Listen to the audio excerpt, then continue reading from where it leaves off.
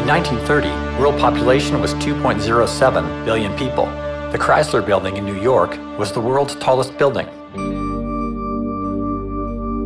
Until 1931, when the Empire State Building was completed. It cost over $40 million and was built while most people in the United States and around the world were struggling through the Great Depression.